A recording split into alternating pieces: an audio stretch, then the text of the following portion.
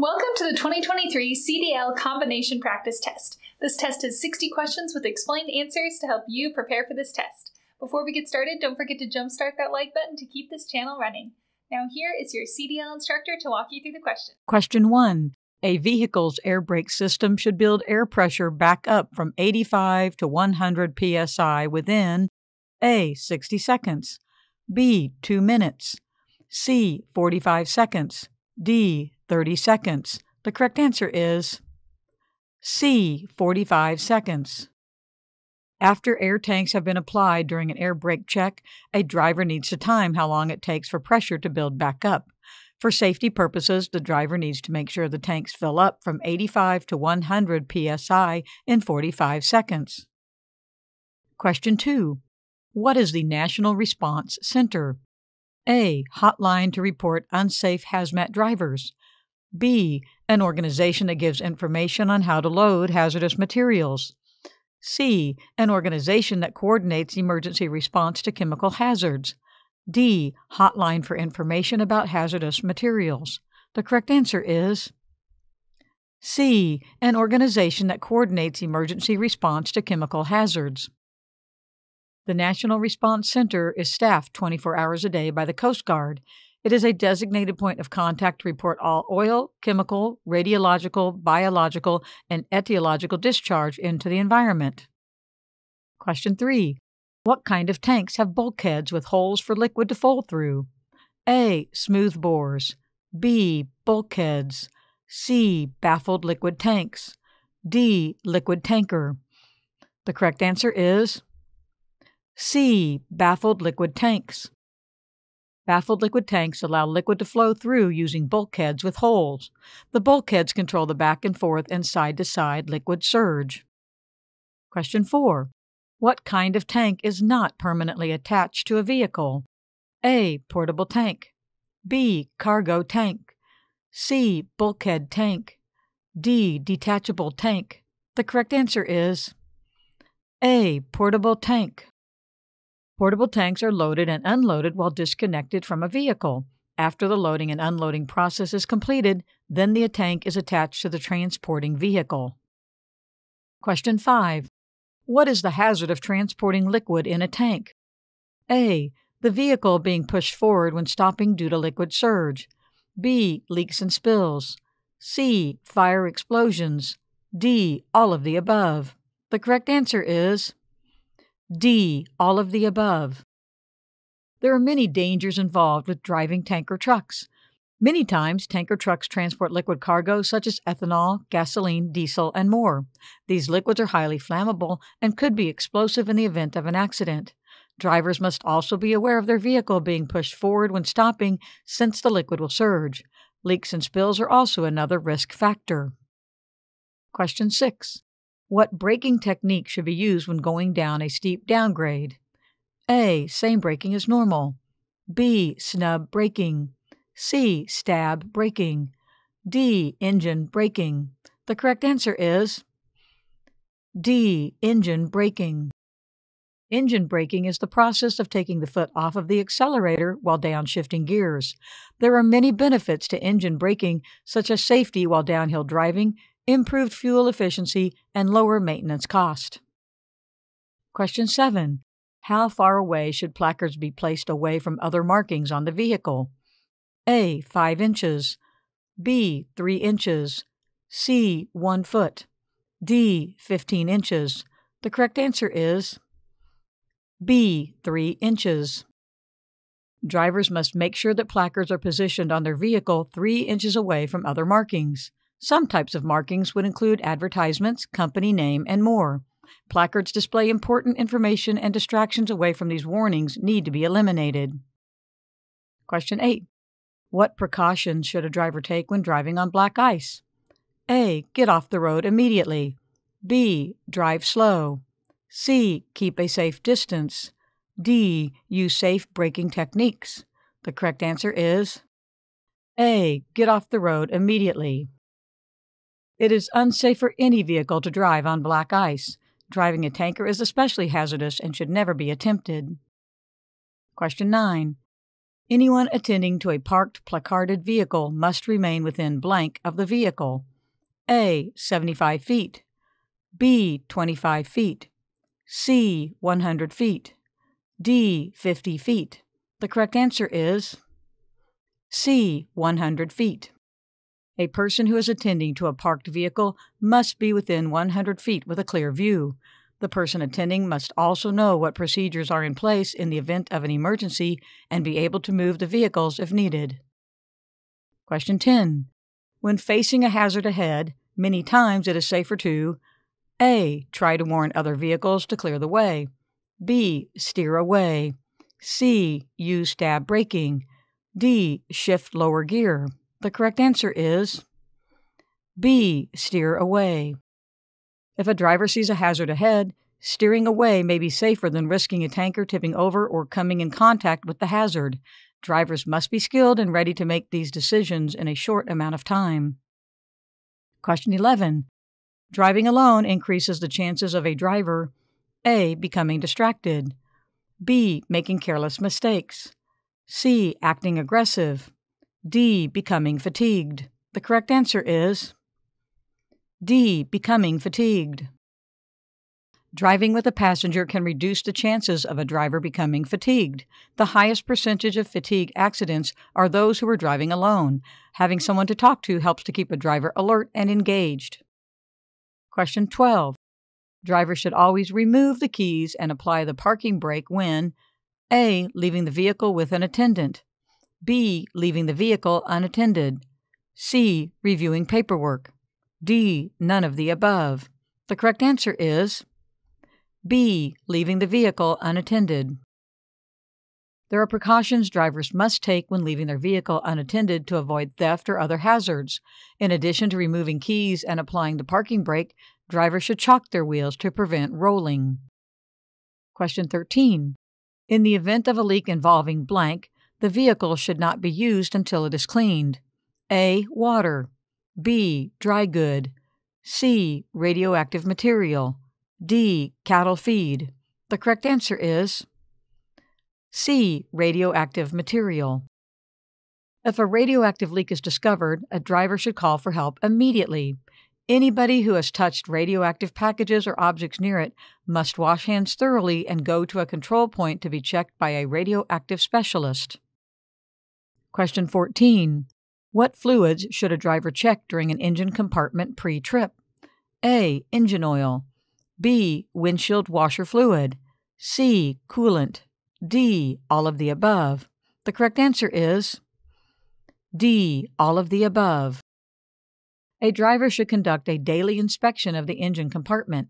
When checking the fluids, a driver should make sure all fluids are filled to the proper level and not leaking. When inspecting the oil and transmission fluid, the dipstick should be removed, wiped clean, reinserted, and taken out again to check for the proper level. Question 15.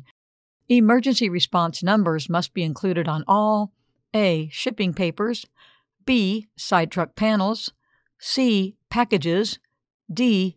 Air tanks. The correct answer is A. Shipping papers. Shipping papers must be easy to find and accessible. In addition to emergency numbers, shipping papers must name the type of materials being transported. Question 16. How many airlines does a combination vehicle have? A. 2, B. 4, C. 6, D. 1. The correct answer is A. 2. Every combination vehicle has a service airline and an emergency airline. These two lines run between each vehicle. They go from tractor to trailer, trailer to dolly, dolly to second trailer, etc. Question 17. The blank gauge shows how much air pressure is being applied to the brakes. A. Application pressure gauge. B. Volt triple gauge. C. Electric triple gauge. D. Ear gauge. The correct answer is a. Application pressure gauge. The application pressure gauge shows how much air pressure is being applied to the brakes. When the application pressure shows the brakes are fading, a driver should slow down and use a lower gear. Question 18. When air pressure is low, a blank warning light will activate. A. Yellow. B. Red. C. White, D. Green. The correct answer is B. Red. When air brake pressure drops to approximately 60 psi, a buzzer and red warning light will activate. When this happens, the driver should pull over to a safe area immediately. If the pressure continues to drop, the emergency brake will activate between 40 and 20 psi. Question 19. What should be done if traffic delays result in a driver to run 10 minutes behind schedule? A. Try to catch up on time. B. Accept the delay. C. Drive 5 miles per hour over speed limit. D. Skip a scheduled stop to get back on track. The correct answer is B. Accept the delay.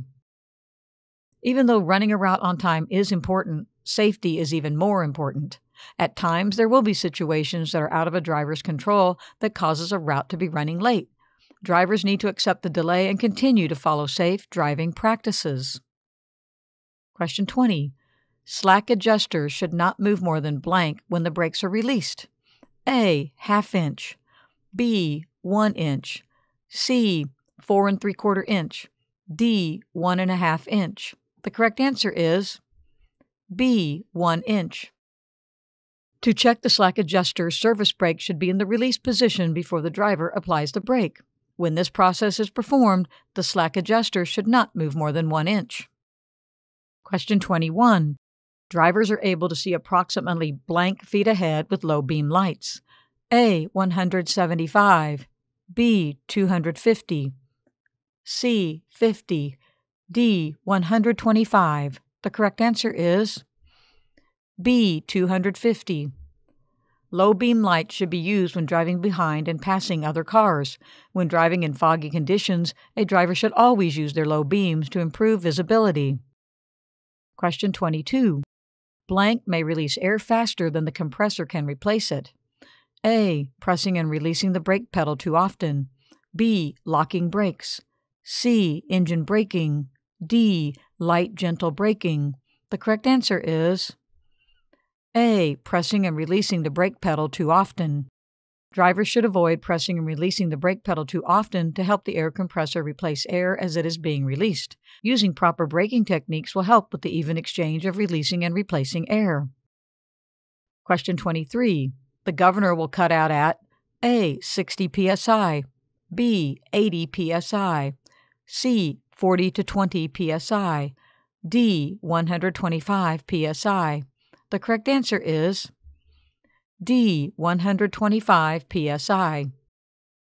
When the pressure in the air tanks reaches 125 psi, the governor will cut out. This will stop the compressor from pumping air. The governor will cut back in around 100 psi and allow the compressor to begin pumping air again. Question 24 blank is required to operate combination vehicles. A. Pre trip inspection time. B. Less driving skill. C. More driving skill. D. Same skill as all CDL drivers. The correct answer is B. More driving skill. Combination vehicles are usually longer and heavier than other CDL vehicles. Because of the vehicle's increased size and weight, a driver must have more knowledge and skill to operate them. Drivers must also learn specific safety factors that apply specifically to combination vehicles. Question 25.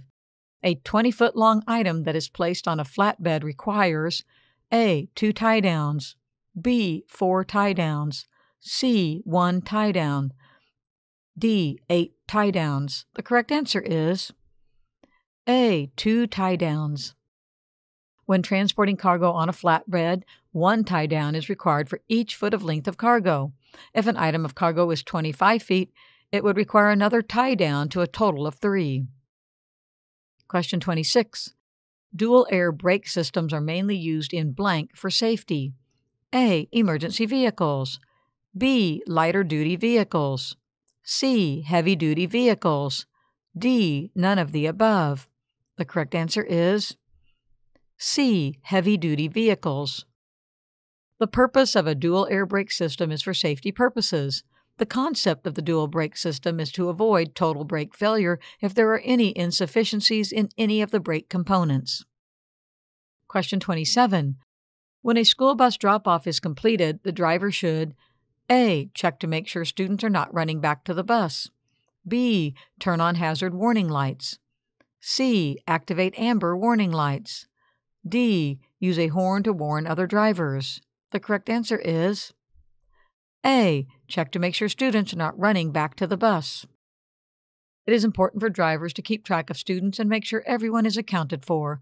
When a school bus stop is completed, drivers need to check mirrors to make sure there are not any students running back to the bus. When it is safe and students are at a safe location, the driver closes the doors, puts the bus in gear, checks the mirrors again before proceeding. Question 28. What type of vehicle is required to have an emergency brake? A. Only vehicles with air brakes. B. All vehicles. C. Only vehicles with hydraulic brakes. D. Heavy duty vehicles. The correct answer is B. All vehicles. Since January 1, 1976, every vehicle is required to have an emergency brake. Some emergency brakes are placed on the floor, and some are located near the gear selector. Question 29. The engine should be turned blank when checking lights before driving. A. On or off. B. On. C. Off. D. In second gear. The correct answer is B. On.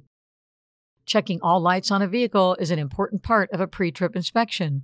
In addition to headlights, a driver should check directions, signals, amber lights, stop lights, and backup lights. Question 30. A driver should slow down and be aware of uneven road surfaces when A. There is heavy trucking traffic, B. Entering a way station, C. Driving through a construction zone, D. None of the above. The correct answer is C. Driving through a construction zone. Construction zones are marked by orange signs and posted reduced speed limits. Drivers must always practice extra caution for the safety of other drivers and construction workers. Road work can result in uneven pavement, and drivers must be away from changes and reduce speed. Question 31. Drivers should blank if they are unsure if their vehicle will clear an underpass. A. Turn on high beams. B. Tap brakes. C. Go through quickly. D. Drive slow. The correct answer is D. Drive slow. Drivers should know the height of their vehicles and be aware of clearance signs to know if they will clear an underpass. If a driver is unsure and the underpass is not marked, a driver should proceed with caution and drive slow. Question 32. What should a driver do if a tire blows out? A. Take their foot off of the brake. B. Quickly steer to the side. C. Put on hazard warning lights. D. Gently press the accelerator. The correct answer is A. Take their foot off of the brake. When a tire blows out, it is important for the driver to get the vehicle off the road safely. First, the driver should take their foot off of the brake, turn on the right direction signal, and gently accelerate to move as far off to the right of the road as possible. Question 33. When driving into a downgrade, the first step for a driver to take is A. Put the vehicle in neutral. B. Check brakes and shift into lower gear. C. Keep in the same gear. D. Gently accelerate. The correct answer is B. Check brakes and shift into lower gear. Drivers always want to make sure their vehicle is able to safely drive through a downgrade. First, a driver should tap the brakes to make sure they are working before shifting the vehicle into a lower gear. Shifting into a lower gear decreases the use of the brakes and protects against brake failure. Question 34. Where is the safety valve located on a vehicle with air brakes? A. The first tank. B. The rear tank. C. On the governor. D. On the air compressor. The correct answer is A. The first tank. The safety valve is usually set to open at 150 psi and used to protect the system from too much pressure. It is located in the first tank, sometimes called the supply tank. Question 35.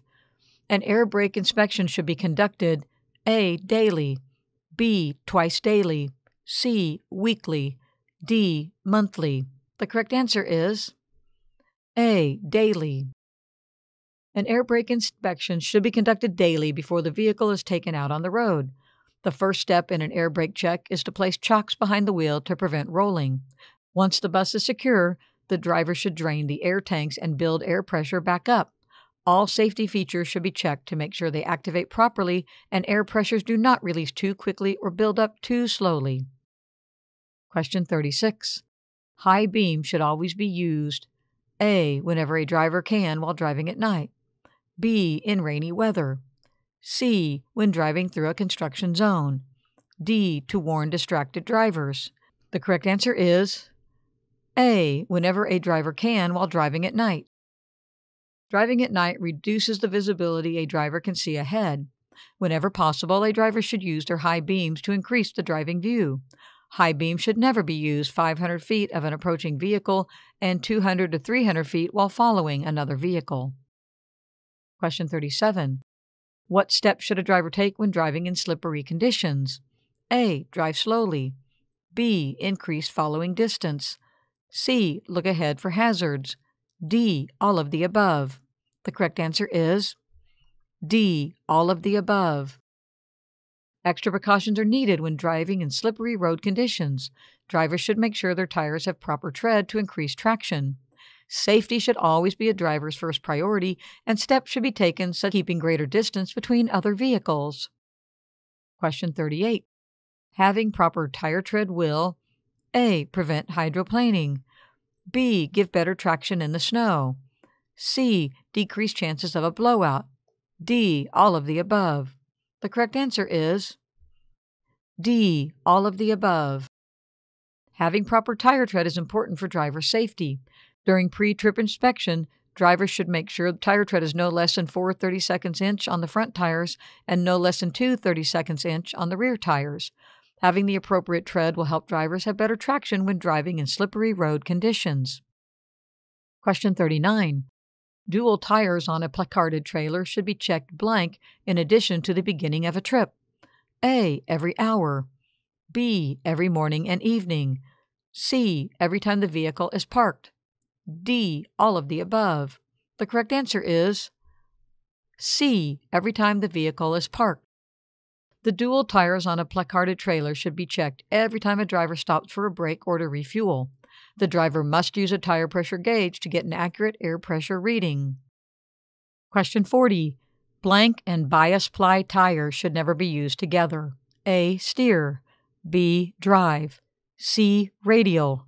D. Trailer. The correct answer is C. Radial. The internal structure of the radial and bias ply tires are so different that they should never be used together. Combining these two tires could negatively affect the trailer's ride and wear on the tires. Question 41. Shipping papers related to hazardous materials must be kept on the driver's seat when A. The glove box is full. B. The driver is out of the vehicle. C. The driver changes trucks. D. There is not a side pocket. The correct answer is B. The driver is out of the vehicle. Shipping papers for hazardous materials must always be easy to find and get to. When a driver is out of the vehicle, the shipping papers should be left on the driver's seat or inside the driver's side door for easy access. Question 42. Hazmat employees are required to be trained and tested every A. 4 years, B. Year, C. 6 months, D. 3 years. The correct answer is D. Three years. Before completing training, a hazmat employee may perform job functions under the direct supervision of a qualified hazmat employee. Continual training is required at least once every three years. Question 43. What mirror should a driver use to view students directly in front of a school bus? A. Passenger mirror. B. Crossover mirrors. C. Side flat mirrors. D. Side convex mirrors. The correct answer is B. Crossover mirrors. Crossover mirrors should be adjusted so the driver can see the entire area in front of the bus. It is important for school bus drivers to check these mirrors before completing a school bus pickup or drop off to ensure there are not any students in front of the bus before pulling out. Question 44. A driver should use the blank mirror to make sure students are seated before moving the bus. A. Crossover. B. Flat. C. Student slash passenger. D. None of the above. The correct answer is C. Student slash passenger. Drivers must make sure students are seated when the bus is moving. When doing a pre trip, the student slash passenger mirror should be adjusted to make sure that a driver has a clear view of all passengers to briefly monitor while driving and when performing a school bus drop off or pickup. Question 45. The blank is responsible for labeling hazardous material. A. The shipper. B. The driver. C. The receiver. D. All of the above. The correct answer is A. The shipper. The shipper holds the main responsibility to label hazardous materials. Even so, the driver and receiver are the next line of defense to check every load of hazardous materials to confirm it is secure, safe, and properly labeled. Question 46. Heaters are prohibited in cargo space that is carrying A. Flammable liquids, B. Flammable gases, C. Explosives, D. All of the above. The correct answer is D. All of the above. Cargo heaters should never be used when transporting Class 1, Division 2.1, or Class 3 hazardous materials. Before loading any type of explosives, the truck's engine should be turned off and the cargo heater should be disconnected. Question 47. Blank is the proper way to use a fire extinguisher. A. Use an up and down motion. B. Aim at the base of the fire.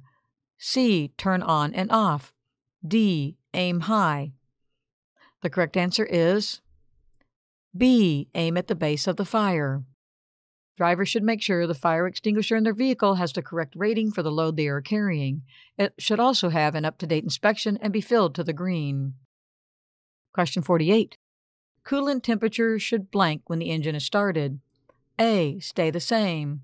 B. Quickly rise. C. Rise gradually. D. Decrease. The correct answer is C. Rise gradually.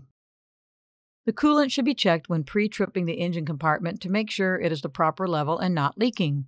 On the dashboard, the temperature gauge will show if the coolant is within normal range or overheating. Question 49. Mirror check should be conducted blank when driving. A. Regularly. B. 5 to 7 seconds. C. At the beginning, middle, and end of route.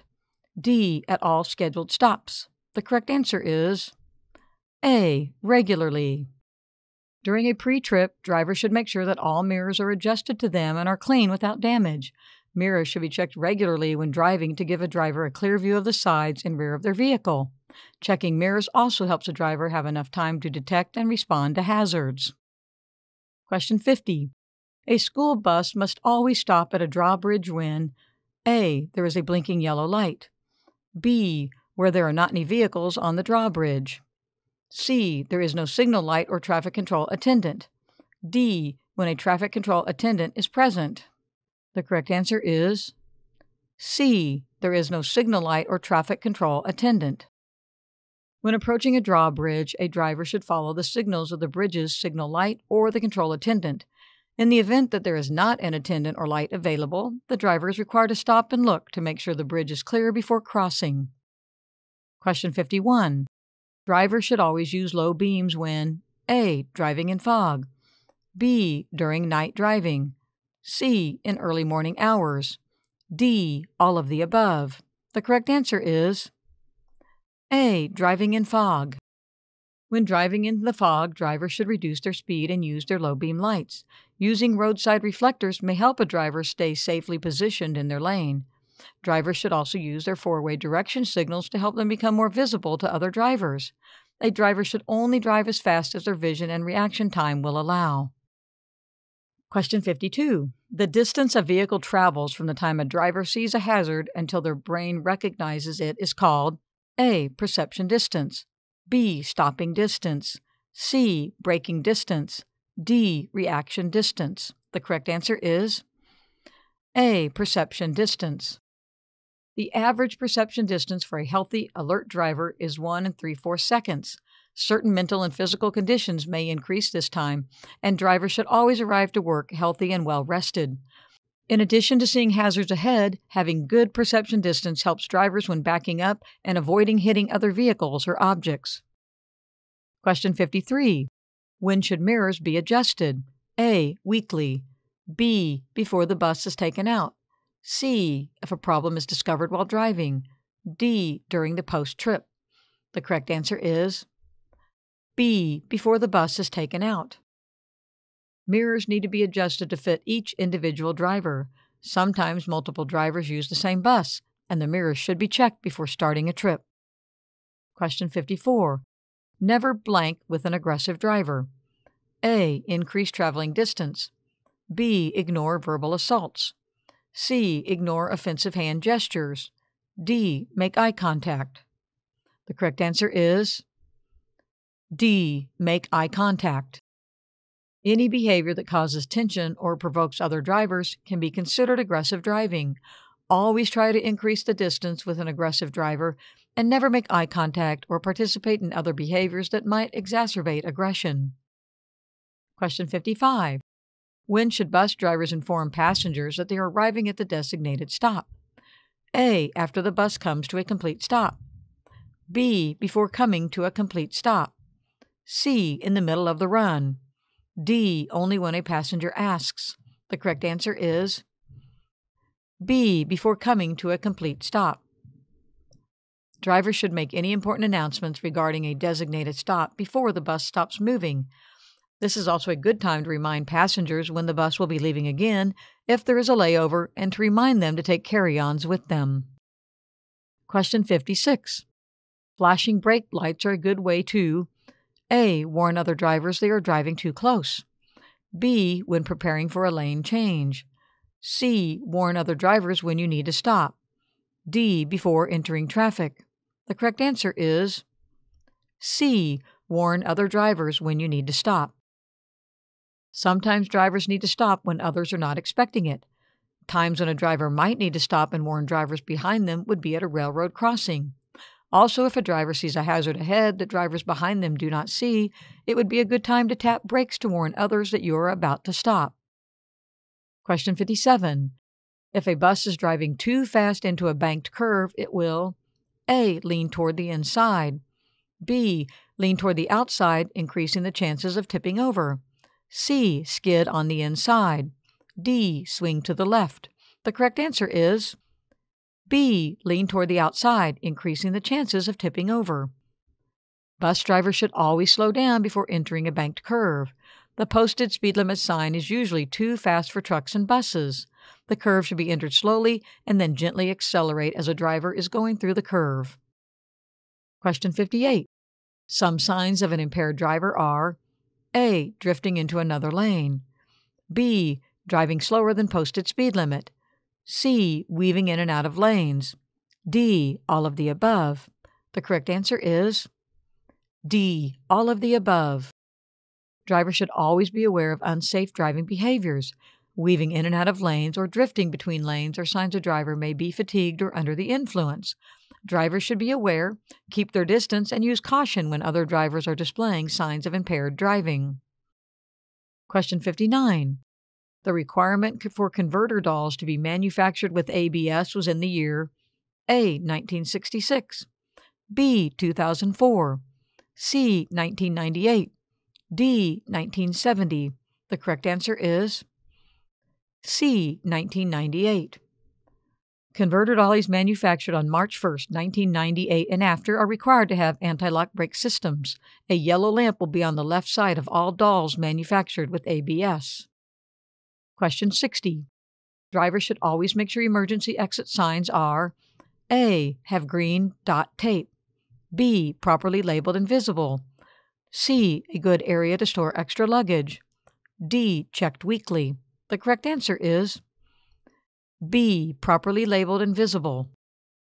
Emergency exit signs should always be properly labeled so they can be easily identified. Passengers should be made aware of the locations of all emergency exits. In addition to being properly labeled, drivers should check exits to make sure the alarms are working properly and they are easily accessible. Hope you enjoyed this video. If you still need more practice, then check out these videos or click the first link in the description to get your cheat sheet, which will help you pass your CDL exam on your first try.